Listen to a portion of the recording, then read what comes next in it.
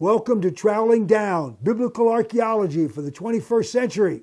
Hi, I'm Gary Byers. This is Dr. Steve Collins, and we're talking today from the ARC, the Archaeological Research Center of the Tel El Hammam Excavation Project.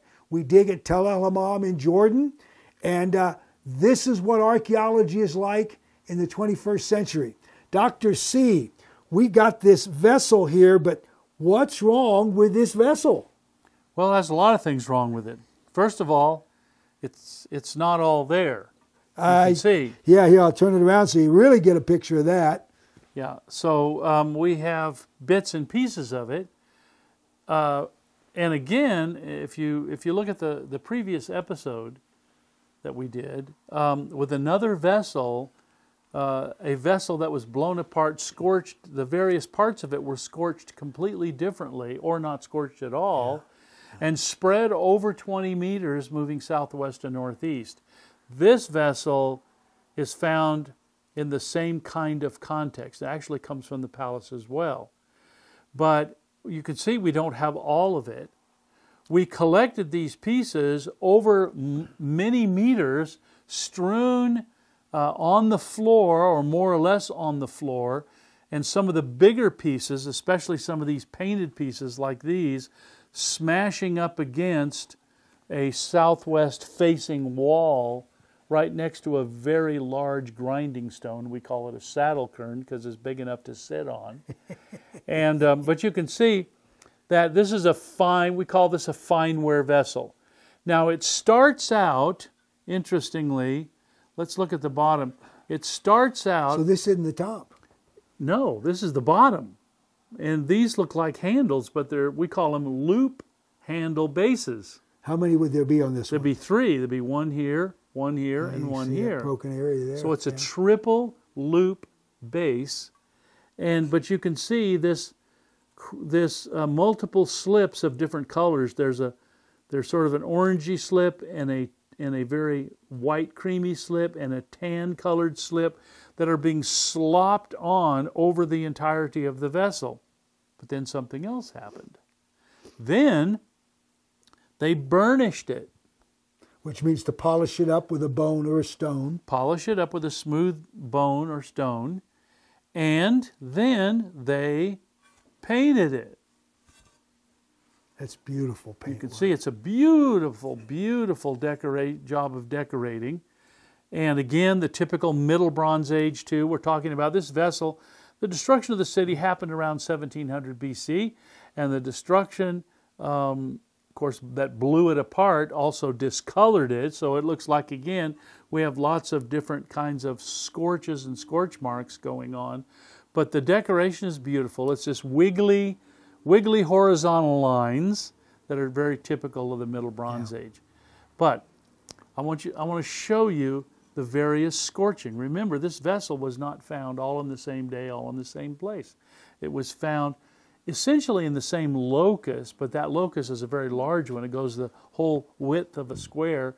This was found strewn over six meters from one end of that square to the other.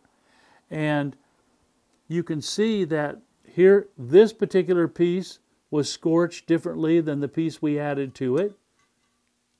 Okay? And this piece was scorched differently than that piece. And if you look in the inside, it's pretty dramatic. Can you get on the inside and see this dramatic scorching? Can you see that? Yeah, he's getting it. right here. This piece is scorched. This piece is scorched differently. This part of it's not scorched at all, but it has its own different scorch pattern up here. Here's another one. Look at this one. If we can get right, peek right through, Yep. here's a scorch pattern on this particular sherd that's different from the one next to it. It's discolored differently. And you can see this on the outside. Here's scorching. Here is scorching.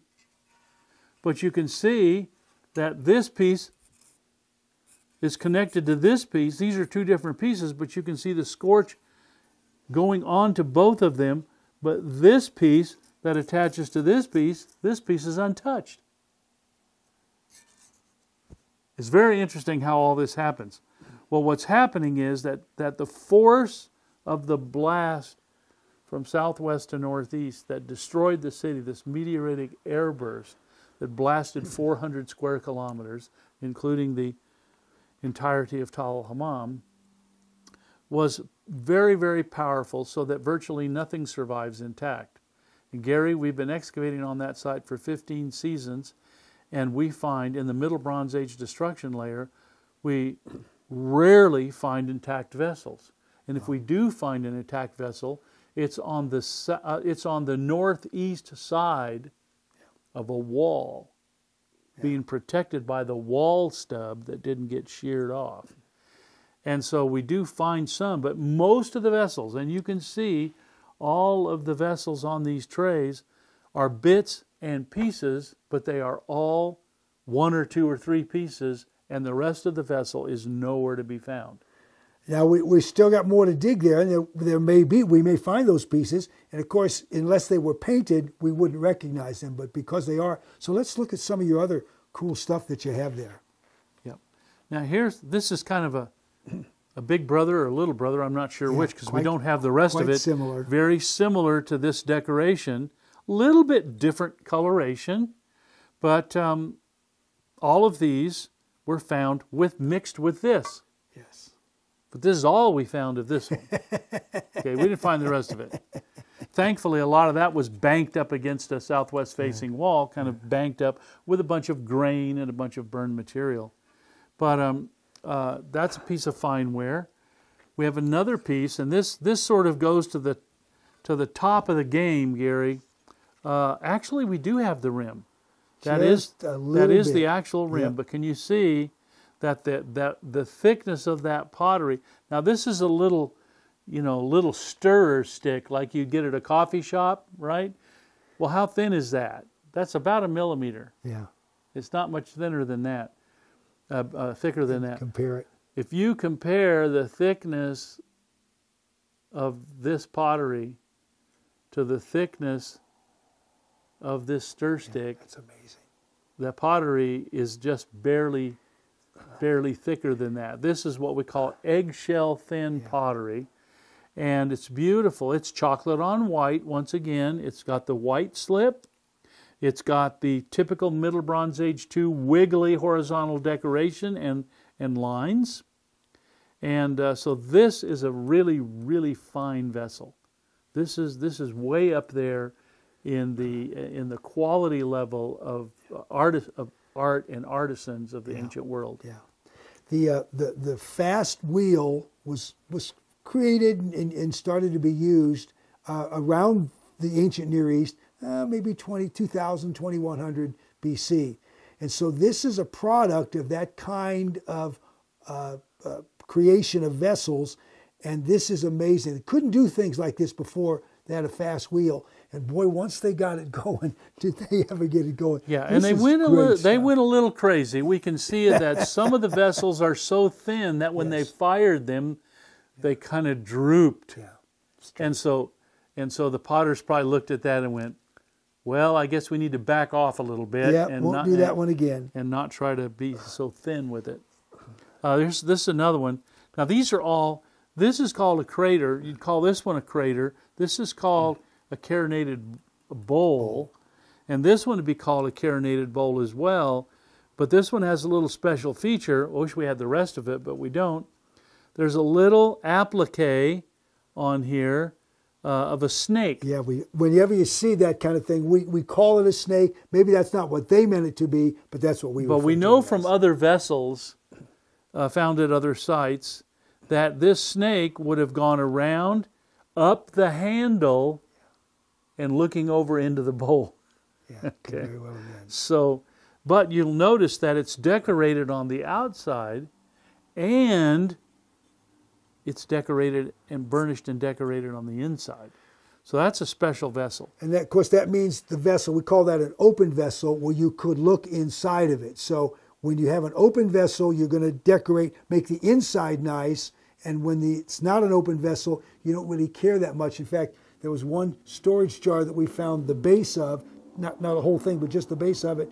and the potter had evidently been rolling up, making a little coil of clay, dropped it down in there, and it was a storage jar. And so he apparently said, probably his assistant, probably said, nobody will ever see it, nobody will ever know, just left it in there. And 3,000 years later, 4,000 years later, we find it, and we just had a hoot because he thought he got away with it, yeah. but not with us. It was going to be a handle, but oops. and then um, here's some more, Gary. This is, I mean, we're kind of giving a lesson on chocolate on white here, aren't we? Yeah, but that um, was such a special uh, design yeah. in, in that time. In Again, the here's the age. white. Yeah. But this is this is all we found of the, the this vessel. Yeah. All of the stuff you're seeing here, these were all just single pieces strewn into the matrix. With these others, which thankfully we have a little bit more of. But again, here's the, you know, and I suppose if someone got creative, they could say, well, this is dark chocolate, this is milk chocolate. but this is chocolate, again, chocolate on white ware. Now, this is an interesting one because this is more or less in the chocolate on white ware tradition, but it's bichrome. Yeah. Two this, color. This is red and and black. And the red and black decoration is an influence from the sea peoples or from the Aegean, Aegean world. And so we've got uh, probably some visitors or some trade happening. It's probably a, a vessel made locally. The clay looks very local. But um, uh, so we have influences from all over the world because people are coming to, to the site. Here's another one of our. Now, this looks remarkably like this vessel. Okay. It isn't this vessel, completely different paint, but you can see uh, it's not as scorched, so wherever it landed was more protected. But you can see again the chocolate on white decoration. Don't know about its fellows, but this is all we've got of this yep. one. Yep. Here's another one. This is almost this is almost a reddish decoration, Gary. Yeah. And it's very possible that these two pieces come from the same vessel. The, the, the white slip goes right down on the, that's the top of it, but it's very po- possible that these two pieces go together, but we can't, um, we can't say that.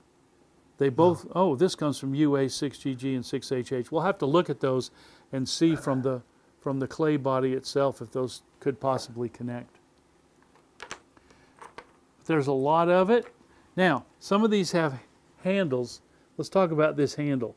This is a very popular handle style for the Middle Bronze Age. You can see it has two ropes stuck together. Yeah, we call those those little coils, each one, we call it each one a rope. So it's a double rope handle that they used to do a lot in the Middle Bronze Age. Yeah, and this is typical, typical of small juglets. Yeah. yeah. And it isn't unusual. Now, not all their handles are double rope. Some are single, but a lot of them are double. Some are even triple, triple. or quads. Yeah. And so that's a that's a very common kind of a thing to and do. usually not painted, but that one that one was. And this vessel was absolutely gorgeous. It is polished really well, shines very well, but look at the very delicate decoration. And even though it's not as thin as this one, it's pretty, pretty yep. finely done. Yep. And so the chocolate on whiteware tradition is all over the place in the palace. They seem to really love it. And they produce lots of, here's even more of it. We have some more over here and more over there. But there's lots of different variations on the same theme white slip with brown, brownish, reddish brown decoration. And that really does come from a, an Aegean uh, background because their clay was white and then they would they wouldn't have to put a slip of, of clay right. to give it a different color. So this is this is the inside of the vessel. This is what the clay looked like, but then they put this white slip, and slip is a, a, a real thin layer of clay, real thin bit of clay and water, and they literally would paint it on. So this is a white slip to, to be like the Aegean. Our Italian film director says, tone it around, show them again. And so so here's this is a white slip, and then this chocolatey, uh, reddish, brownish uh, clay. Sometimes it gets rather quite dark, sometimes a little bit reddish, but this is this is really that's just gorgeous. It's just absolutely gorgeous. It's beautiful stuff. And what's interesting about this is that these are the kinds of vessels that would go into the actual the living rooms of the palace. These are all found to the northeast of the living quarters of the palace in the kitchen. Why would you have vessels like this that are display vessels in the kitchen, mingled with the sherds of cooking pots and storage jars and all manner of vessels that are used in the preparation of food? But these vessels are strewn in, and the and the probability that these were pushed over from the palace mm-hmm. complex, from from the actual living quarters and dining quarters and and even maybe a throne room of the of the palace were pushed in the destructive event from the southwest to the northeast. And some of this material is landing in the matrix that actually what we blo- think. blows over the northeast into the palace area So we got about two minutes. So say, um, just say a word about our, our next venture into the palace. Where we we've, we didn't know it, but we've found the kitchen area. But talk about just to get two minutes. Talk about the palace itself. What we got what we got to do to get there. Well, there. the big problem is, Gary, that, that about 700 years after the destruction of the Middle Bronze Age, of course, during that 700 years, nobody lived there. And there is a large warehouse built in the Iron Age around 1000 BC, built there, and it takes up a lot of space. It's built pretty much over the living quarters of the palace. And then on top of that is a Roman, Hellenistic, Roman, Byzantine um, lookout tower, signal tower, maybe even turned into a Byzantine shrine of some sort yeah, yeah. um, later. But here are these layers of occupation or of architecture going over the top of the palace. That makes an archaeologist stay up late at night or even not sleep at all, trying to figure out how in the world are we going to get into the main part of the Middle Bronze Age palace without disturbing that other material. We're still working on it. I think we have a solution that we can tear us in from the side, and and there there are some sections of those buildings that are destroyed anyway, because there was military damage on the site. So the military damage has destroyed some of it. That we can remove, and then we can move into the palace proper. Um, in 2020, I excavated a really deep trench, way, way deep on the far southwest edge, and we, we found the outer wall of the palace. And, and we estimate that it was the size of the White House Yeah, in just, Washington D.C. Yeah, the footprint itself is just about the size, a little bit larger than, than the footprint of the White House. And um, we don't know how many stories it is, but uh, based on the size of our walls, typically some of the interior walls are, are 80 centimeters to a meter thick. That's easily supporting two stories, maybe three. These uh, exterior walls are better than three meters, and they could go up quite, quite high. Yeah. So we got lots more to find. They just gave us tantalizing pieces in the kitchen. Can't wait to get into the good stuff. Well, this is archaeology, biblical archaeology for the 21st century. Welcome to Troweling Down. Hope you'll join us again soon.